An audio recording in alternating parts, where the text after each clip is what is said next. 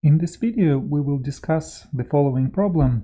Find an equation for the line through the point 2, 1, which is also perpendicular to another line y equals to 5x minus 3. Okay, so here I already graphed, you know, I put this point to 1, and I graphed this line y equals to 5x minus 3, and the way I graphed it is I simply chose the y-intercept, so when x is equal to 0, we can see when you plug in 0, you get y is equal to minus 3. So we have this point on the y-axis at y equals to minus 3, so this is just the intercept. And then I just chose x equals to 1, because when you plug in 1, you get y equals to 5 minus 3, which is 2. Okay, so I just took this point uh, 1, 2 and draw, draw a line through these two points. And so the question is to find a line which was perpendicular to this line passing through the point 2, 1. So it will look something like this. Okay, and so the angle here will be 90 degrees. So these two lines will be perpendicular to each other. And so the equation for this line y equals to mx plus b is what we want to find. So we want to find uh, m and b. So first, I simply want to give the answer uh, without any explanation so that you know you can remember it and if you need to use it you can just use it right away right so let's remember that if we have two lines,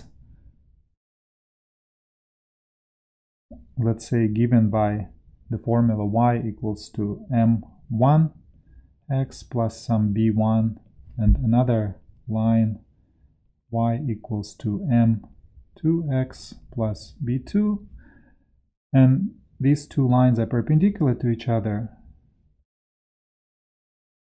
Then the slopes of these two lines satisfy the relationship that if you multiply them m1 times m2 should be equals to should be equal to minus 1 so in particular in this case one slope uh, is 5 and so the second slope should satisfy this equation 5 times m is equal to minus 1 and so the slope of this second line is minus 1 fifth and then we also want this line to pass through the point 2, 1, so we just plug in that 1 should be equal to the slope, which is minus 1 fifth at 2, so when x is 2 plus b, that should be equal to 1, and from here we find uh, the value b, right? So b should be 1 plus 2 over 5,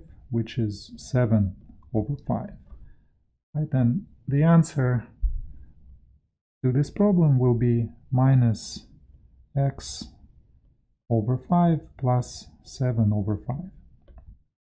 So this is the line which is perpendicular to the original line and it passes through the point 2.1. Now notice that here we consider both lines uh, that are not vertical because we write y as a function of x and a vertical line cannot be written as a function of x. But of course, the case where one line is vertical, the perpendicular line will be horizontal is kind of a trivial case. And so you just have to notice, let's say the original line was not 5x uh, minus 3, but it was just y equals to minus 3. This is a horizontal line the y is always equal to minus 3 for any value of x. That means that the perpendicular line would be a vertical line and which vertical line goes through the point uh, 2, 1? Well, it's the line that has the same coordinate x as that point. So in other words, the answer would be the line x equals to 2, where here you are thinking of x as a function of y. And so remember that this relationship that the product of the slopes is equal to minus 1 is excluding this kind of trivial case, right? Here we are talking about both lines where x is an independent variable. Okay, so now let's um, discuss why this is indeed the case, why this formula uh, holds.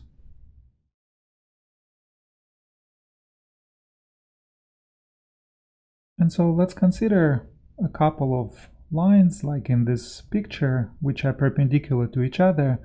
And let's say the first line is given by this equation y equals to m1x plus b1 so m1 is the slope. And the second line has a similar equation where some other uh, constant m2 is the slope. And let's try to find that relationship between m1 and m2 first of all, let's recall that if we consider the following triangle, then the slope of this first line, m1, can be written as the rise over run, right? So delta y over delta x, where delta x is, is this side and delta y is this side of the triangle. Right, so in particular, you know, in this picture, the rise is 2 in this triangle and the run is 4. So the slope of this line is 0.5. And because these two lines are perpendicular, if you rotate this first picture by 90 degrees, you will get a similar picture for the second line. Okay, where this top side of the triangle is uh, delta y in length and uh, this right side is, is delta x. So if you write the slope of the second line as a rise over run, well notice that as you go between these two points, so this point and this point, the first coordinate now changes by delta y. So actually in the denominator, the run here will be equal to delta y.